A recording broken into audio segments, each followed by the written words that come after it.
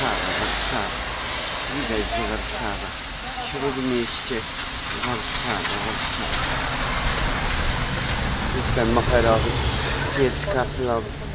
Nie ma świadków Jehowy, nie ma mormonów, nie ma ewangelików, nie ma prawosławnych, czy ludzi wiary nie ma.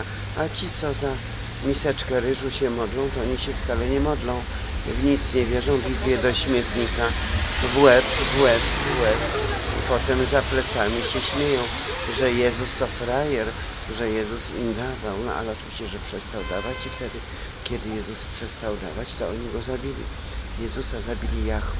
To z Biblii wyrzucili, do śmietnika Biblii wyrzucili i myśleli, że Pana Boga chwycili za nogi, diabła, szatana za ogon.